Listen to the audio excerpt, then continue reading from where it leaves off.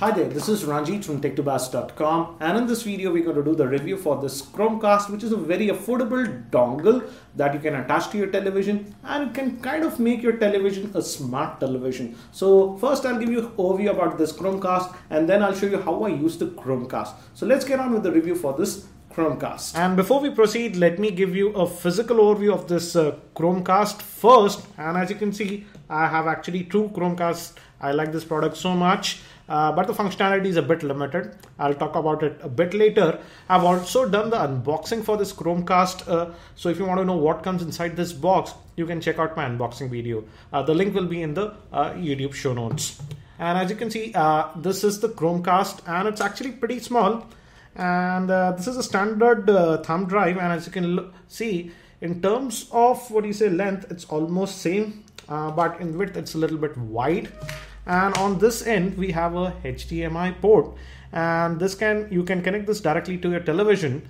And on the other end uh, this is for the power.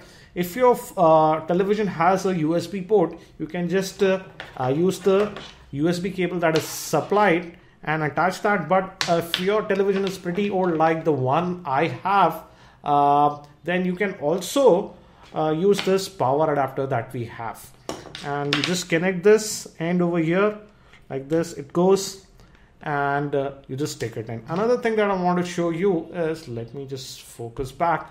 And if you see this tiny uh, what do you say button over here uh, this is actually for resetting. For example when you set up the chromecast it is assigned to your wi-fi network. And let's say you want to change it you can do that by holding this uh, button for about 10 seconds and that resets the chromecast now we also have this one more dongle and this is an extension kind of a thing. Let's say uh, you don't have space at the back, you can just attach this cable like this and then connect it to your uh, television.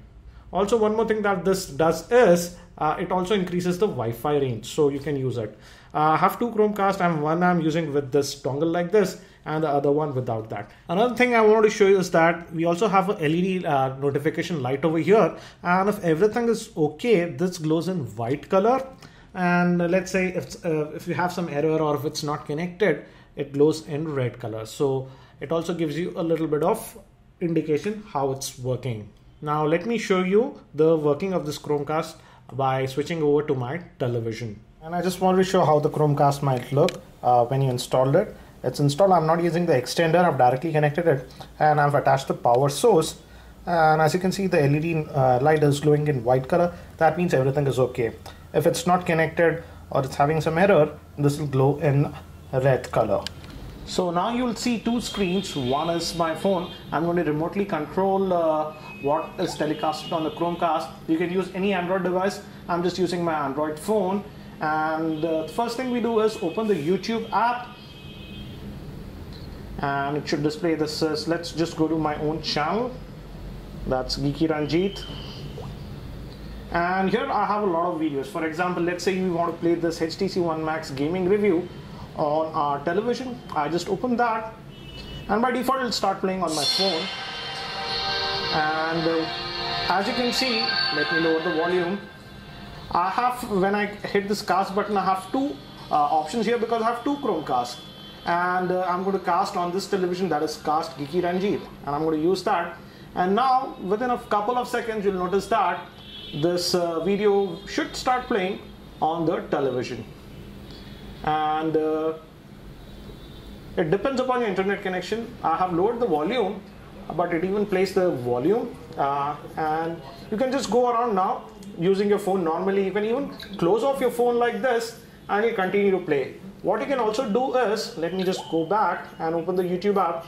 You can also, let's say after this video, I want to play back this, uh, let's say this LG G uh, Pro Lite video. I can cue that. And after this video is finished, it'll automatically start playing that. Like this, you can create a playlist. Let me add this one also. And let me add this one also. Now I've added a lot of videos and after this video is finished playing, it'll automatically move to that. Another thing you can do is you can also control, for example, when you unlock the phone like this, as you can see on the lock screen, I'm getting this.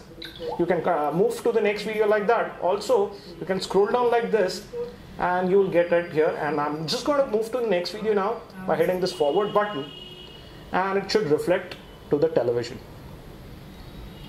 and as you can see it started playing this video so the beauty is that uh, after you set up your playlist everything you're not restricted to keeping this open. You can shut it off and do other tasks. This also works with tablets etc so it's a very convenient way and it works uh, perfectly. Uh, only thing I noticed is that uh, for Chromecast to work perfectly you need to have a fairly decent internet connection.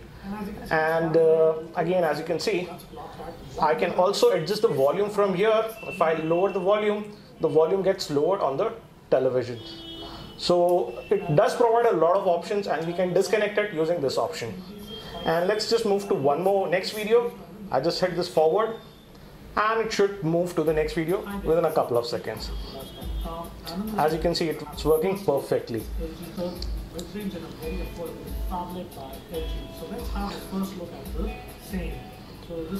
So this is the functionality using an Android device like an Android phone or a tablet. And uh, we can also use a laptop. And uh, from there what content you have on the laptop you can stream it to the television. And let me show you that now. And now I have my laptop. And you need to use the Chrome web browser and install uh, this extension. It's free. And let's say I want to uh, cast this screen to the television. What I do is I just go here and hit this cast. And now this screen should be reflected on the television. And as you can see it's reflected. And if I just scroll down or do whatever that is going to be reflected on the screen. Uh, it's not instantaneous. There is a little bit of lag I would say. And you can do one more thing uh, now is that now anything that you play within this tab will get reflected. Only this tab do note that. For example if I just go to another tab and work that won't be reflected. But whatever is going on this tab will get reflected on the television. And thus you can play a lot of stuff. For example uh, that is not on YouTube also or other sites. For example I'm on this uh, CNN and we have this video and I'm just going to play this video now. It's a big video so it's going to take a couple of seconds to buffer. And let me play it. And as you can see I'm able to play it and it's uh, getting reflected on the screen. I can also go uh, make it full screen and now it's full screen on the television. Let me go back. The only con is that if I just uh, uh, move out of whatever I do here is going to get reflected on the screen. So I need to keep my laptop open. That is a little bit of a con but this way you can stream stuff apart from YouTube etc that's not available directly on the Chromecast uh, to Chromecast. So whatever can be seen on your uh, web browser can be casted to Chromecast and let's say you want to end this you just go to this cast tab and you can just click this stop casting and it'll be back and now you can uh, again it will take a second yes and as you can see on the screen it's back and now you can use your other android devices etc uh, to cast stuff. Uh, regarding uh, compatibility, I tested it with Android tablets and what do you say, Android phones, it worked fine. I, I also heard that it also works fine with iOS devices. I personally did not try. And regarding the connection, I would say you need to have a fairly fast broadband connection for this to work flawlessly. I even tried it with a 2 Mbps connection and it seemed to work fine. Uh, one thing I did notice is that with very slow connections, uh, the tendency is there that it takes a, quite a while to buffer. Again, the quality of uh, the video will depend upon your broadband connection. I have a fairly fast uh, uh, internet connection, hence uh, the videos that I was streaming via Chromecast were being played at 1080p. The Chromecast automatically detects the type of internet connection you have and it will automatically send it 720p or a 1080p feed like that. So what do I feel about this uh, Chromecast? It's a very interesting device, but again, I wouldn't say it's a media player replacement like WDTV, etc. But this uh, device is specifically for people who stream a lot of media, online media, and but again, the choices are limited as of now.